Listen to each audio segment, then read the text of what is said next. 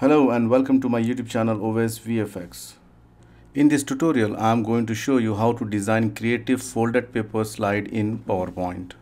In this slide I have added four stages. Stage 1 the detailed description is given here and I've added some dummy graphs. If you want you can add your own graphs here.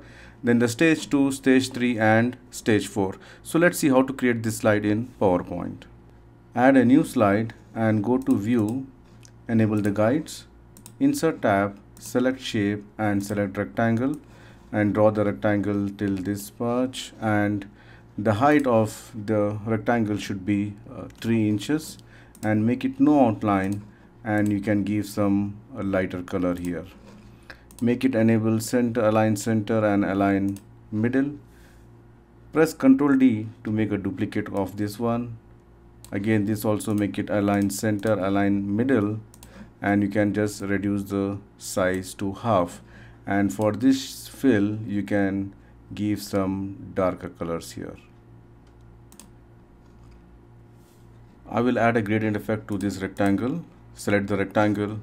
Under format shape fill say gradient fill and you can just use uh, this which is uh, a gray background 35% darker and which is the third stop which is 85% and then you can make it the 5% darker here. Now I'm just going to make a duplicate of this rectangle reduce the size. This is enough. Then I'm going to make one more rectangle by pressing ctrl D. Bring this down here reduce the size. And then I'm going to add shape select a triangle and go to format rotate say right 90 degrees. Bring it here reduce the size and make it no outline.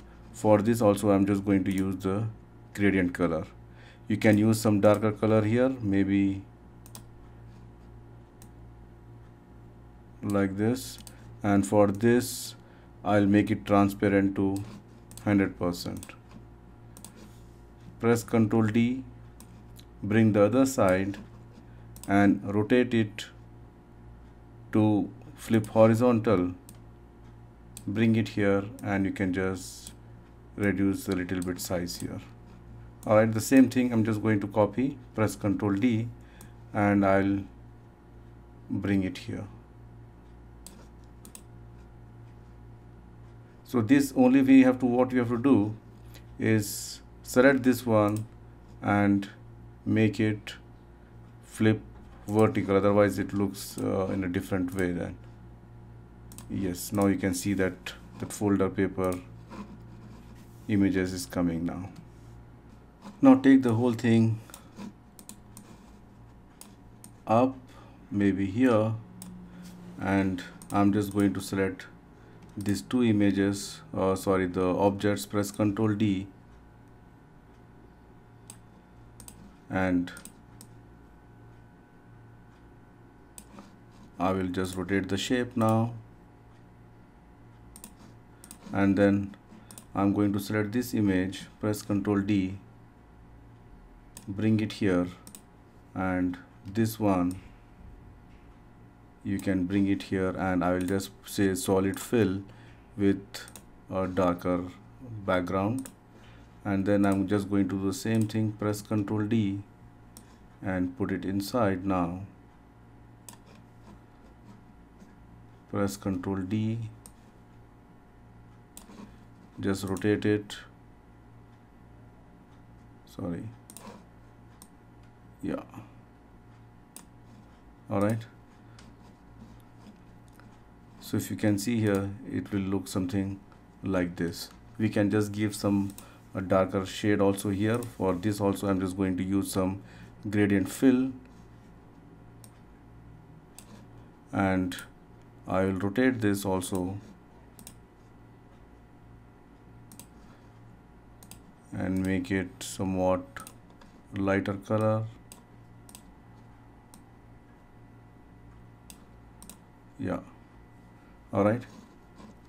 The similar thing you can just copy this one and press ctrl D and you can just add it here. Now if you want to add some text you can just add the text here. I will say insert text. I'll just say first step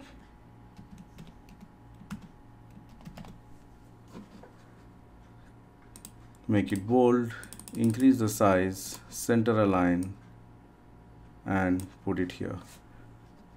And if you have some icons you can just copy the icons here.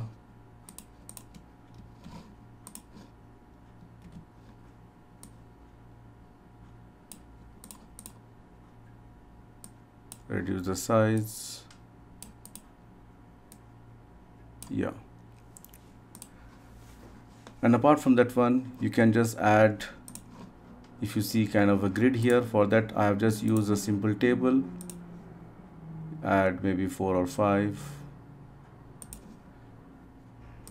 Reduce the size and bring it here. Further reduce. Select the whole table and shading make it no fill. And for the pen color I'm just going to use say a black. And borders just add the borders here. Alright you can just see that one. And then if you have any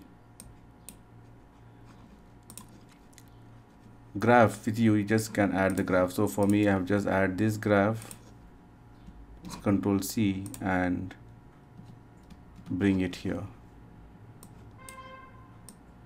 you can just add the graph like that. So once you do all these things then your file will look something like this. Stage 1 stage 2 stage 3 and stage 4 so that's it from me friends. Hope you like this video and don't forget to subscribe my channel always VFX see you soon with more interesting stuff. Till then good